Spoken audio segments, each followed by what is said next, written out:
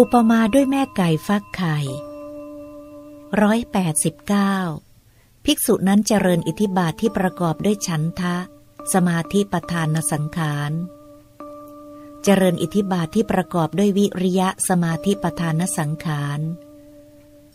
เจริญอิทธิบาทที่ประกอบด้วยจิตตสมาธิประธานสังขาร เจริญอิทธิบาทที่ประกอบด้วยวิมังสาสมาธิประธานสังขาร มีความเพียรยิ่งเป็นที่ห้าภิกษุผู้มีองค์สิบห้ารวมทั้งความเพียรอันยิ่งอย่างนี้นั้น ย่อมเป็นผู้ควรแก่ความเบื่อหน่ายยิ่ง ควรแก่การตรัสรู้ และควรแก่การบรรลุธรรมอันเป็นแดนเกษมจากโยคะอันยอดเยี่ยมไข่แปดฟองสิบฟองหรือสิบสองฟอง ที่แม่ไก่นอนกกไว้อย่างดี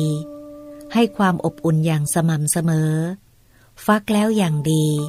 แม้ว่าไก่นั้นจะไม่เกิดความปรารถนาอย่างนี้ว่า ถ้าอย่างไร ขอลูกไก่เหล่านี้พึงใช้ปลายเล็บ หรือจะงอยปาก เจาะทำลายเปลือกไข่ออกมาโดยสวัสดิภาพ ก็ตาม ถึงอย่างนั้นลูกไก่เหล่านั้น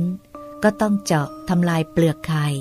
ด้วยปลายเล็บ หรือจะงอยปากออกมาโดยสวัสดิภาพได้ แม้ฉันใด ภิกษุทั้งหลาย ภิกษุผู้มีองค์สิบห้ารวมทั้งความเพียรอันยิ่งอย่างนี้ ก็ฉันนั้นเหมือนกัน ย่อมเป็นผู้ควรแก่ความเบื่อหน่ายยิ่ง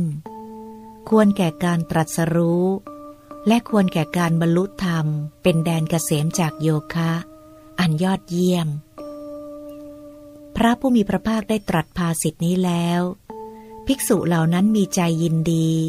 ต่างชื่นชมพระภาสิทธิ ของพระผู้มีพระภาคดังนี้แล